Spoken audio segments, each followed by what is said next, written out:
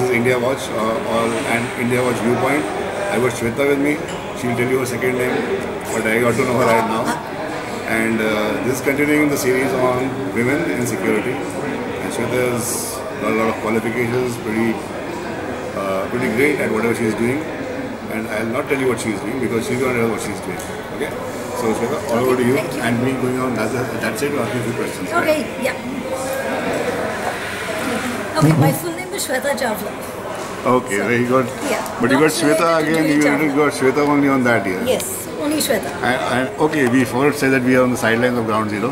Yes, we are. Yes, and Yes. Uh, it's a nice, Bright sunny Bright, day, sunny day. quite cool. yes. So Shweta, tell us about yourself. Like you are in security, yes, I have been working in digital forensics now for about 10 years. forensics. Yes, Wow, that's, forensics. that's very, I would say, cutting edge and is I think the next level after infosec, right? Uh, well, it branches off from InfoSec into legal into many other aspects. So it's possibly the one branch that connects InfoSec to the real world. So how many uh, or more women do you think are in, or have you met who are in forensics? Two, three, possibly, not too many. Is an area which we don't have too many people in, and the gender ratio in that is even less than it is for the information security normally. Well, as we are recording, I only hope that you know the voice. There's a lot of background stuff, so I think coming a bit more closer to you. Will do. So at least let's see. Hopefully, we won't have a lot of background, and we'll try and. I, I don't have much editing skills, but we'll try and do something. I don't it. have any. Yeah, cool. so okay, how did you get into forensics? Interest? You just told me you're you're a history major or what, Yes, right? Wow. I did my master's in history and I was preparing for the civil services until I realized that that's not the field for me.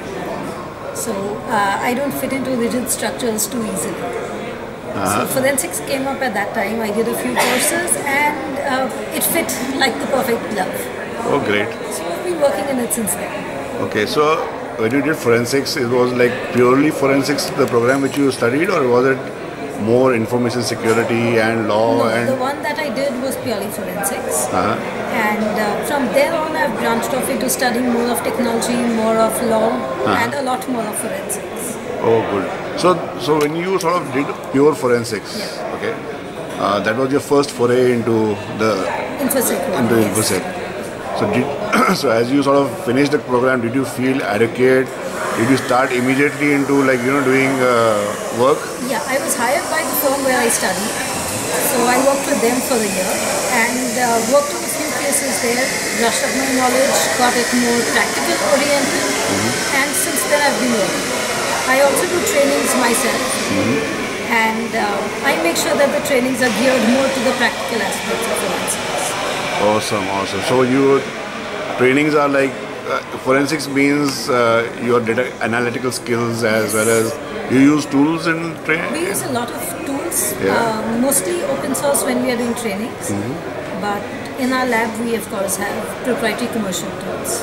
When you say we, I am assuming you have I've a team. firm. Now I've got a firm called Okay. SE Cyber Solutions, Wow. Based Okay. in Pune, Okay. and we work out of that. And how many people are on your A team? very small firm. When I say we, I'm talking about I, me, and myself. All right. So Okay. Okay. Yeah. So because you're a professional, so it's like more of what you do yourself. Is Right. that is that right? Okay. So so if uh, you're also starting an organization of women in security, right? yes, it's called the Association of Women in InfoSec. I will show you the visiting card. Oh, you have a visiting card too. Yes, yes, we Oh, have awesome. official visiting cards. Good. and we've got a website awisec.org Uh-huh. so it's being launched tomorrow and the primary purpose is to encourage more women to get into infosec Awesome. Okay. So and and uh, what would be sort of you know, is it going to be membership based? Is it going to be like, are you going to have uh, chapters across the country? We haven't thought that far mainly because we don't have enough women to have a form a chapter in even one city Okay. so when we do get the heads then possibly but so far it's going to be an online community and we will meet at conferences like this possibly rope in more people to come with us for the conferences Come on, you. girls. Info in India Watch Viewpoint can give you three women in three different places right now. Perfect. So Delhi, yes, there's we. If you go and check our uh, this thing. There is a Delhi interview. Then there are two ladies we interviewed from Bangalore Right, and uh, Kochi. right. So So yes, we've got women in um, Bangalore, Bombay, Delhi, Calcutta, Chennai, Bangalore, Good. Cochin, and Pune. that's a lot of places. That's a lot of places. But the problem is we've got two women, three women, four women from So- each of these places. The tri- made the tribe increase. Yes, exactly. So once Yeah. the tribe increases, have chapters. Awesome. Okay. So somebody who wants to get into, let's say, forensics, for example. Now the other ladies I spoke to uh, earlier, you know, they they are in they're doing VAPT and auditing work or GRC work sort of thing. Right. Auditing Somebody- is the maximum number of Right. women work in auditing. And uh, let me tell you, this is my personal opinion, is that uh, I, have, I am working with a few women in GRC. They do a much better job than guys. They're more diligent. So it's nice to hear that from you. They, they are much more diligent. Well, I am a big supporter of all the women around the place. Perfect. So in any case, so so let's take like so somebody wants to get into forensics. Yep. Where does he or she start? Starts with doing the basics. Really, Yeah. It's a decent enough foundation. I'm going to cut that off. Okay, do. That one reference I'm going to cut off. Okay. So now we'll start again. Okay. So where does one start? All right. If one has one has to get into forensics, where does a woman start? The first thing they can do is get in touch with me. Uh-huh. I'll put them in touch with a number of courses that are available, and those are slightly higher end courses. Mm-hmm. I have also been writing a series of articles on the basics of forensics for Six Mag.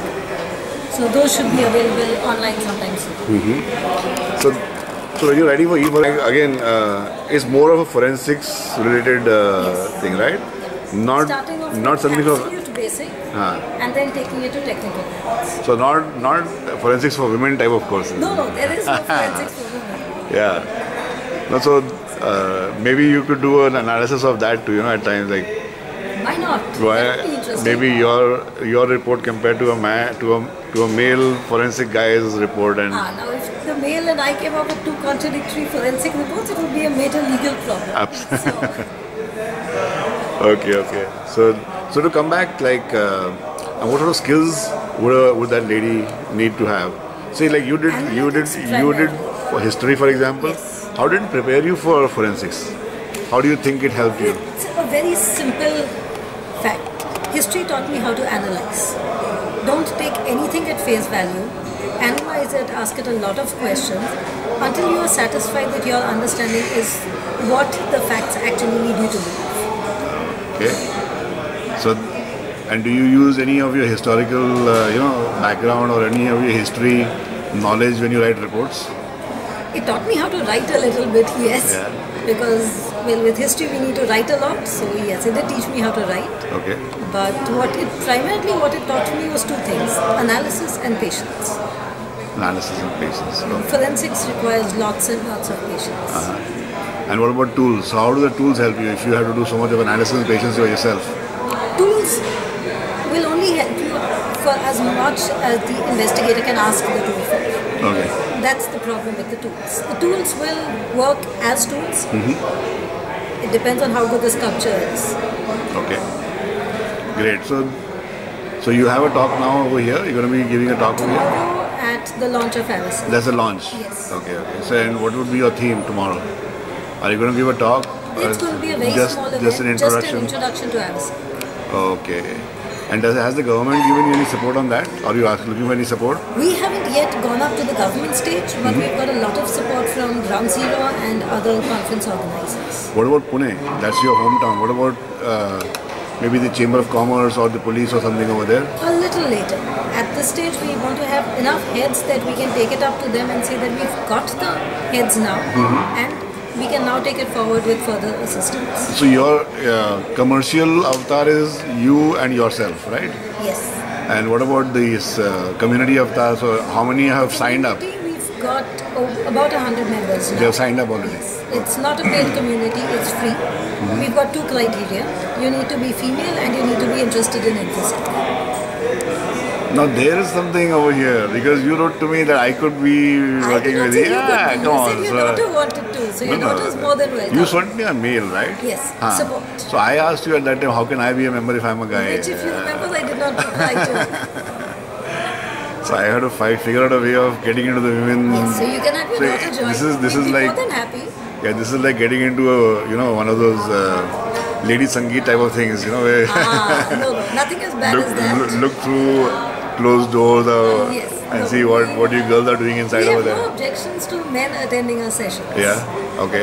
Yeah. So do you plan to call men to give uh, you know to talk also? If they have the expertise we require Uh-huh. and we don't have it in-house, then definitely. Okay, great. So if and if India Watch gives you a platform, you know, sort of a webinar or something every month, or We'd be more than happy to do that. so you'd be happy to do that. So okay, and and uh, would you sort of you know career give career paths or That is like that, part of what we plan to do. Mentoring is going to be a very Mentoring. major aspect of AWISEC and across uh, across India. across uh, Across. India and across the info sector. So it could be VAPT or Yes. this or that or We've whatever. got experts on VAPT, people who've been in the field for a long time. Yeah, right. We've got uh, lawyers on board, we've got CISOs on board. So we've got the expertise now. Okay, and uh, can you see your card again? Is, is it pink? No, it's not. Why isn't it pink?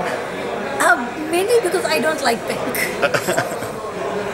so while it would be stereotypical, I don't like pink. Yeah, uh, good. This awisec dot dot org. Great. So all the women who are watching this, uh, go to the website. You can Yes, you register. can You can, register over there. Yes, right? you can register There's no fee for joining. No, none at all. Great. So that's that's a great thing to happen, and uh, you can be sure about knowledge and Yes. resources to be coming up, right? In due course, but What? knowledge primarily right Yeah. now. So one-on-one mentoring or somebody wants help or whatever. Okay, great. And uh, will you be reaching out to the the major uh, IT corporations also? Yes, we will. We've already got CISOs on board, Uh-huh. and we'll be using their assistance, their linkages, Yeah. and our own networks to get in touch. Awesome. Awesome. That's great. Very good. So, of course, you have our support from India Thank Watch you. Viewpoint, and I will I will keep on interviewing women as I keep yes, meeting please. them. And please tell them about AWISEC. No, I will surely do that, Okay. and I'll. Uh, we we have our website also, and we and even through the Honeynet project, Hmm. so we'll put it out over there also, Okay, lovely. and wherever I can. That would be it. And uh, of course, you have to put us on the mailing list. Yes, we will. Your daughter. Okay, I'll I'll uh, forward that mail to myself. Okay. So just to know what you- just to know what you guys are doing. That's her choice. Just to know what you guys are doing. Go ahead. Okay, and no, uh, we've got a mailing list which will we will be coming up with a newsletter, which will obviously not be gender specific. Okay. No, so uh, basically the whole idea is that okay, by being interested in stuff, uh, I I personally would really like to know what's happening, and if I can contribute, I'll be very happy. We'd be more than happy for any kind of contribution. Also, great, and uh, thanks a lot, Thank you. and have a great one. You too. See you.